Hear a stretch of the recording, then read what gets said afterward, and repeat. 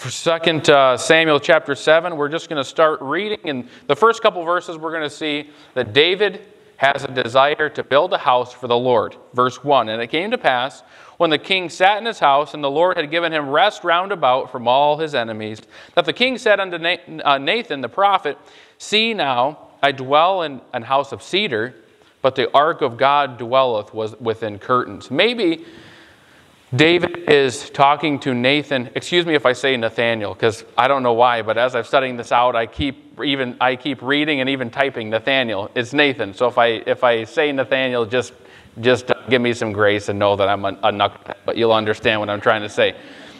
David is talking to Nathan, the prophet, and he's saying, "How am I going to live in a house that's more sturdy, uh, uh, built better, and really is more qualified to be a house?" uh, than where the ark of God uh, is dwelling. We know that in, in chapter 6, uh, David brought the ark back. We, we talked about that a little bit last week, how uh, it was on the cart, and Uzzah reached forth his hand, and God struck him. David said, How is the ark going to come to me? And he put it to the side. Uh, after three months or so, David gets his heart right. He brings it back into the nation, and of course, the ark representing uh, the presence of the Lord. So now the presence of the Lord and, and God's blessing is on the nation of Israel. In chapter 7, we see that God uh, has given David rest from all his enemies, and David's just kind of thinking now. Maybe for the first time in a long time, he's had some time to just sit and think not where's my next meal coming from? Where is saul going to try to attack me? Uh, where i'm at my position here? Where are the philistines going to try to attack us? Not wondering when am i ever going to get my kingdom uh, fully set up here in the nation of israel? And he just has some time to think. Maybe it was on a dark and stormy night right maybe he, david is sitting on his porch and there's a, a thunder storm and there's rain and there's wind and david's sitting out looking from his house and thinking about how, though he's protected from the elements, he's protected from the rain and the wind and the storm that's going on, thinking about the, the very fragile temple, the tent that the ark of God is being housed in. And he's wondering, how is it that I am living in a, a house of wood? and God is living in a house of curtains. And so David just begins to ask himself this question, and he has a desire to build a house for God. Nathan agrees to the plan to build the temple, and he even says, Hey, I think that's a good idea. I think you ought to do that. Verse 3 And Nathan said to the king, Go do all that is in thine heart, for the Lord is with thee.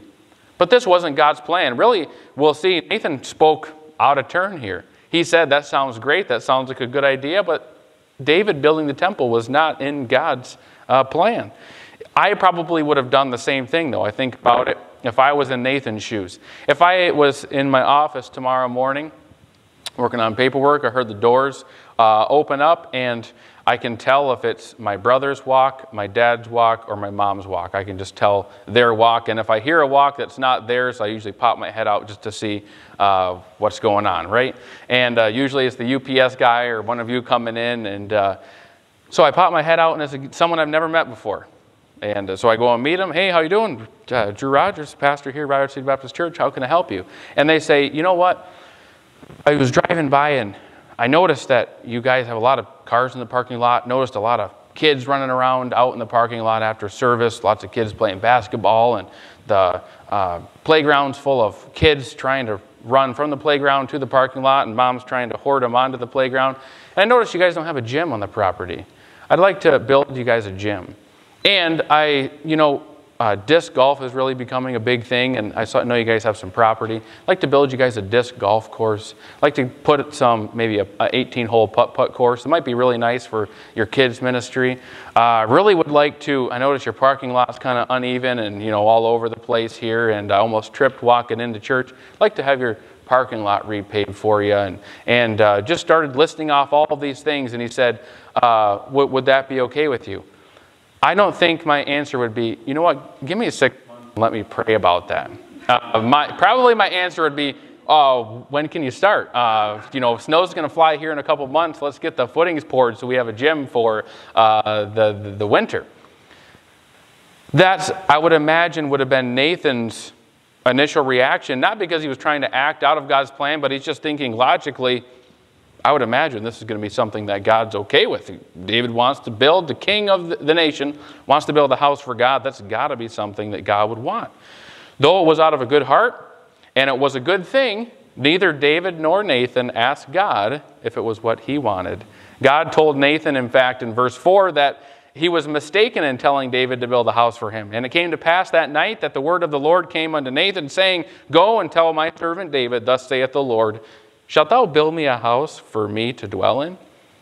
Nathan, God tells Nathan then what he wants David to hear.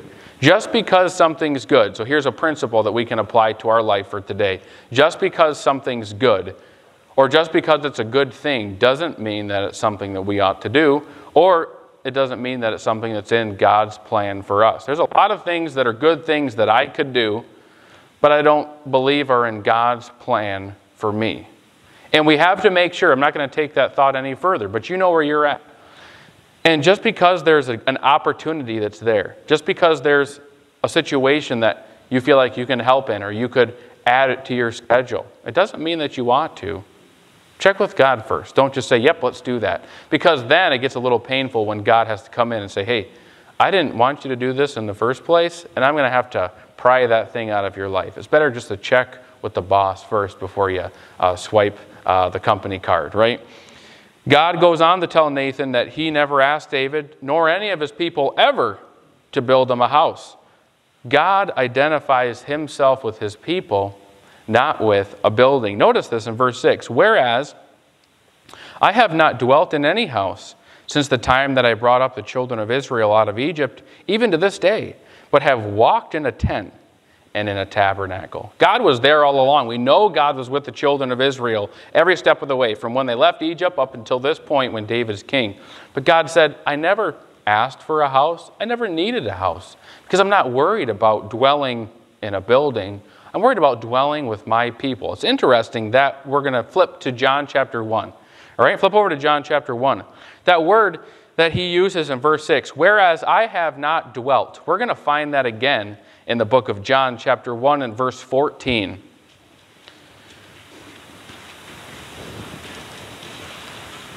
One of my favorite verses in the Bible, John chapter 1, verse 14. And the Word was made flesh and dwelt among us.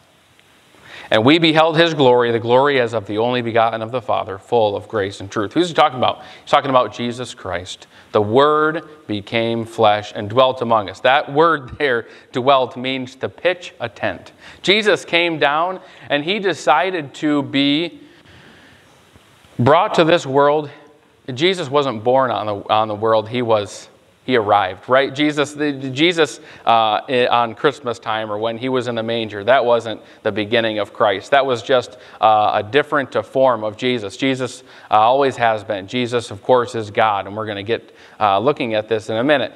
Jesus arrived to earth in the, really the weakest form that he could have. He could have come in any, in any uh, body, any shape, any, any anything that he wanted to, but he came as a man and he dwelt among us. He, he pitched his tent in the form of man, the weakest form that he could have uh, ever come in, because he wasn't worried about being exalted or raised up necessarily. He was worried about dwelling with his people. The word was made flesh and dwelt among us. God again is going to reiterate, we're back in 2 Samuel chapter 7, that he did not ask, nor had ever asked anyone to build him a temple, but he gave all the credit to David. Verse 7 In all the places wherein I have walked with all the children of Israel, spake I a word with any of the tribes of Israel, whom I commanded to feed my people Israel, saying, Why build ye not me an house of cedar? And then God goes on to remind David that not only did, had he not asked for a house, but he also reminds David that he's the one who exalted David in the position that he is now. Verse 8 Now therefore, so shalt thou say unto my servant David, Thus saith the Lord of hosts, I took thee from the sheepcote, from following the sheep to be a ruler over my people, over Israel. And I was with thee whithersoever thou wentest, and have cut off all thine enemies out of thy sight, and have made thee a great name, like unto the name uh, like unto the name of the great men that are in the earth. If you compare David with any ruler that's ever been in world history, David is going to stack up right there with some of the greatest men that have ever lived.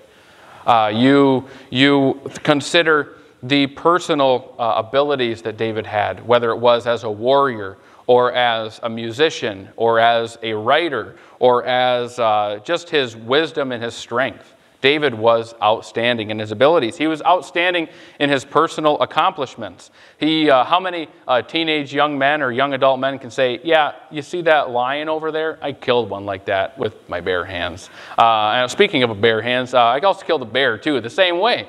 Uh, you, you, know, like those that big, uh, those giant people that live over, like in the land of Gath. I killed one of those guys too. when he was fully armored with his armor bearer, I just had a slingshot, and I sunk a stone so far into his head uh, that he fell over, and then I cut his head off with his own sword. And then I carried his head back to our camp, and we killed the rest of them too. Just personal accomplishments and all the other things that David had done up to this point, David could have very easily been filled with pride and said, I've done a lot of things. We know all those things were done in the power of the Lord. His kingdom accomplishments, David's kingdom very quickly becomes uh, the strength of, of the area, and he puts all of the other uh, nations uh, down in their place. God delivers the land, and really, nation is a, uh, the nation is a stronghold. Uh, Solomon takes that even further, and everything ran through uh, the nation of Israel during the time that David reigned and his children reigned. the battle victories that he won, the, the ladies from a young, from, as, a, as a young man, what did they sing? Saul hath slain his thousands, but David is ten thousands, and I think that was a little bit of an exaggeration. He had slain ten thousands up to the point that he killed Goliath, but it was just giving ode to the fact that David was a mighty man. He was a, a mighty man of battle and war. He's the author of the Psalms, an incredible man. And here, David, and here God is reminding David, I'm the one that put you in that position. I'm the one who took you from literally being a shepherd, following some sheep, to being one of the greatest men that's ever walked on the face of the earth. God then makes a, a promise to the nation of Israel as a whole. We're going to see verse 10. Moreover, I will appoint a place for my people Israel, and I will plant them that they may dwell in a place of their own and move no more. Neither shall the children of wickedness afflict them any more as before time and as since the time that I commanded judges to be over my people Israel, and have caused thee to rest from all thine enemies. And then God makes David a promise. End of verse 11. Also, the Lord telleth thee that he will make thee an house. David wanted to do something for God. That's how this whole chapter got started. David was looking out and he said, Why am I dwelling in a house of cedar? And the Lord's dwelling in a house of curtains. And he said, I want to do something for God. And we get all the way to here in verse 11, and God says, You wanted to do something for me. You're not qualified to do what you want to do for me. I'm going to have your son do it. But because you wanted to do something for me, I'm going to do something for you. God knew and appreciated the desire of David's heart. God said, David, you want to do something for me, but I'm going to do something for you. God does this often. He does this in my life, He does this in your life. He rewards the desires that we have to do something for Him, and in turn, He does things, some things, many things for us. We cannot outdo and we cannot outgive God. Now we're going to see in full that the promise that God makes to David, and it's a promise that much Old Testament prophecy hinges upon, and it's a promise that's important if we're going to understand the Bible message. What is the message of the Bible? Really, the, all of the Word of God is pointing to the cross, is pointing to Christ, and it's pointing how we have an opportunity to be re- reconciled back to God as sinners. That's really the overwhelming message of the Word of God. And if we're going to understand that message, we have to understand the promise that God makes to David here from verse 12 to verse 16. So let's read it. Verse 12 And when, the day, when thy days be fulfilled, and thou shalt sleep with thy fathers. That means to be dead. I will set up thy seed after thee, which shall proceed out of thy bowels, and I will establish his kingdom. God's not just referring to Solomon. Of course, Solomon was the next in line. God wasn't just talking about establishing his son next, but he was also talking about the Lord Jesus Christ. I told you we were going to refer to the New Testament a little back, a little bit. Flip over to Romans chapter 1. Here, the Apostle Paul is kicking off uh, my favorite book of the Bible, the book of Romans. If I could only have one book of the Bible uh, to read for the rest of my life, it would be the book of Romans. It is the declaration of the believer, and it really is kind of like the constitution uh, for Christians. It has everything in there that we need to know. Paul, uh, through inspiration of the Holy uh, Ghost, uh, does a great job in writing, uh, being very concise in a lot of doctrinal principles. But he kicks off this book with a callback to 2 Samuel chapter 7. Paul, a servant of Jesus Christ, called to be an apostle, separated unto the gospel of God, which he had promised afore by his prophets in the Holy Scriptures concerning his Son, Jesus Christ our Lord, which was made of the seed of David according to the flesh. So the Apostle Paul kicks off the book of Romans by reminding us that Jesus Christ is of the seed of David. Verse 13 of 2 Samuel chapter 7 He shall build an house for my name, and I will establish the throne of his kingdom forever. Solomon was the next one in line. Solomon was the, going to be the one who built the house for God, the house in his name. But beyond that, that phrase established the throne of his kingdom, that goes beyond Solomon and looks further into the future, promising that one day Jesus Christ would sit on the throne of David. Wow. Luke chapter 1 and verse 30. Flip over there. This is the angel coming down and talking with Mary in uh, what is setting up to be the Christmas story that we would generally read in Luke chapter 2.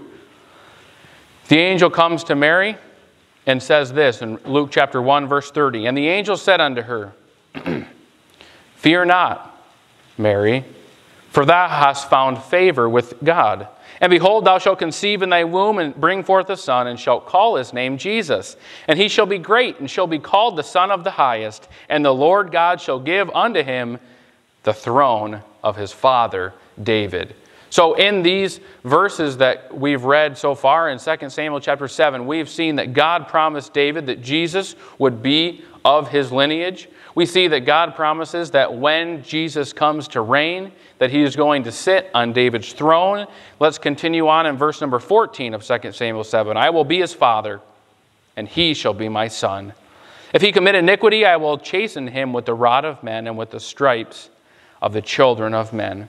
Jesus, in his position in the Trinity, is who? He is the blank of God. He's the Son of God, right? God, Jesus is the Son, God is the Father. In John chapter 20, verse 17, I'll read this for you. Jesus saith unto her, Jesus has risen up from the grave, and he says, Touch me not, for I am not ascended to my Father.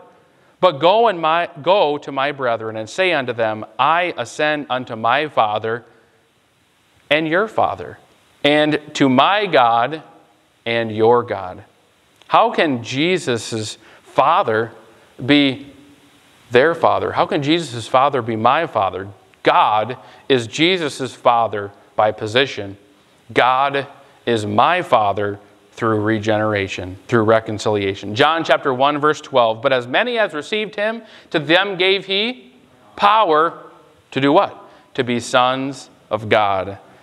Even to them that believe on his name. The right that is given to me for simply believing on the name of Jesus Christ is found in 2 Samuel chapter 7, verse 14. I will be his father, and he shall be my son. But then we find an interesting phrase after that phrase in verse 14 that says, If he commit iniquity, we're talking about Jesus here. So this is interesting when you're reading it in this context. If he commit iniquity, I will chasten him with the rod of men and with the stripes of the children of men. Why is God saying, if Jesus sins, I'm going to chasten him? That's just weird, right? Because we know that Jesus is perfect. We know that Jesus can't sin because he's God and God is holiness. Jesus did no wrong, so why would God say this? Flip over to actually flip over to Isaiah chapter 53. I'm going to read you a verse from 2 Corinthians chapter 5, verse 21 while you're going there. For he hath made him to be sin for us, who knew no sin, that we might be made the righteousness of God in him. Isaiah chapter 53 and verse 3 reads like this He is despised and rejected of men, a man of sorrows and acquainted with grief. And we hid, as it were, our faces from him. He was despised, and we esteemed him not. Surely he hath borne our griefs and carried our sorrows. Yet we did esteem him stricken, smitten of God, and afflicted. But he was wounded for our transgressions, he was bruised for our iniquities. The chastisement of our peace was upon him, and by his stripes we are healed. What did he say in verse 14? If he commit iniquity, I will chasten him with the rod of men and with the stripes of the children of men. That there is a prophecy and also a promise that when Jesus took his sin upon us, that God, who cannot look on sin, who has to deal righteously with sin, would deal with his son. But not because his son was iniquity, but because he took our iniquities on him. Though David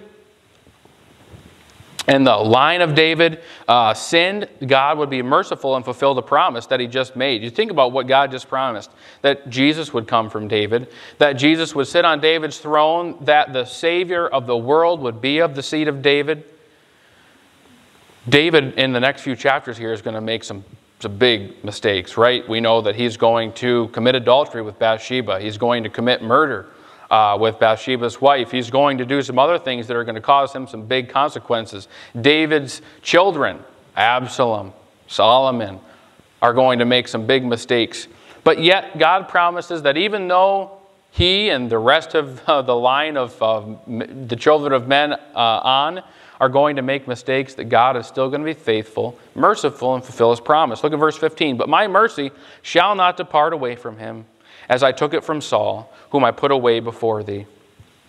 And thine house and thy kingdom shall be established forever before thee. Thy throne shall be established forever.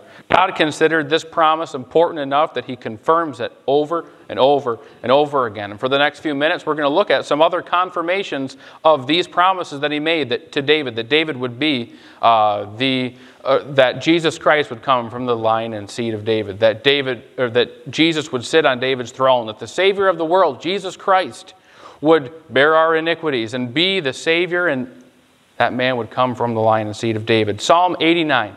Turn to Psalm 89.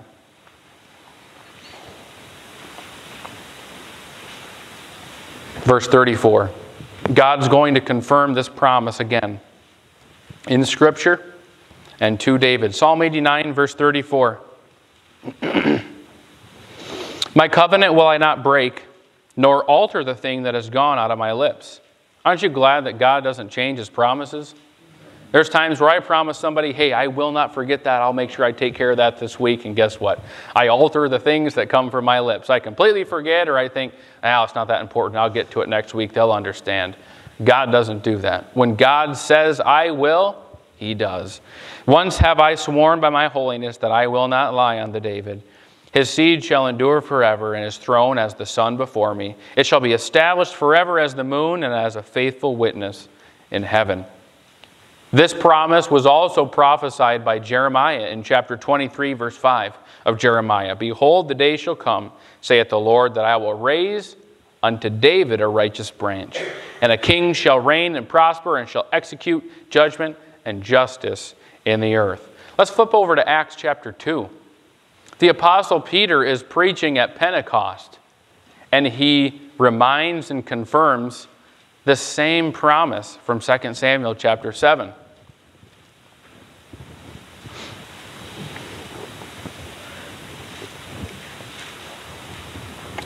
Acts chapter 2, verse 29. Men and brethren, let me speak freely. Uh, let me freely speak unto you. Peter generally did, anyways. Uh, of the patriarch David, that he is both dead and buried, and his sepulchre is with us unto this day. Therefore, being a prophet, and knowing that God hath sworn with an oath unto him, that the fruit of his loins, according to the flesh, he would raise up Christ to sit on his throne, he, seeing this before, spake of the resurrection of Christ, that his soul was not left in hell, neither his flesh did see corruption. This Jesus hath God raised up, whereof we all are witnesses. Peter is reminding the church there and confirming that not only did God make the promise, but now God has fulfilled the promise that he made to David.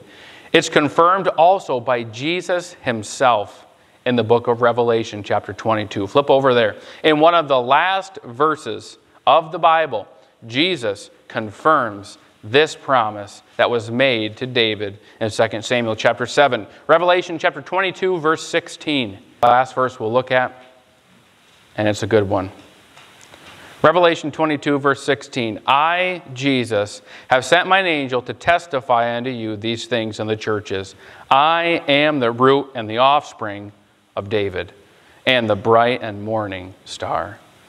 God, when he makes a promise, goes good on his promise. And this promise that he made to David, he didn't forget it. He didn't go back, he didn't change it. He was faithful to keep that promise. I'm glad that he did because Salvation's plan, my opportunity to be redeemed back to Christ, was contingent on the promise that he made to David many, many, many years ago. Verse 17 of 2 Samuel chapter 7 wraps up by saying God was talking to Nathan the prophet, and he said, According to all these words and according to all this vision, so did Nathan speak unto David. Aren't you glad that Nathan was faithful not to leave anything out that God told him?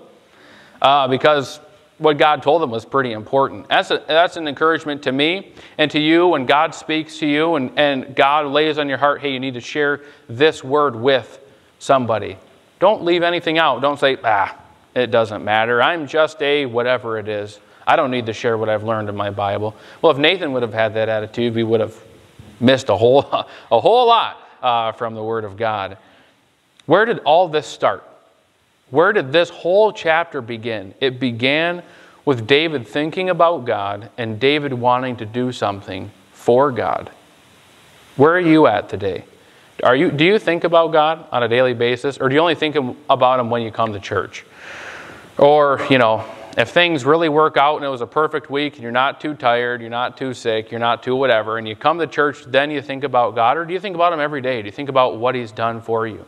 Because it was in thinking about God and what God had done for David that David said, You know what? I need to, there's, there's something that I can help, there's something I can do for God.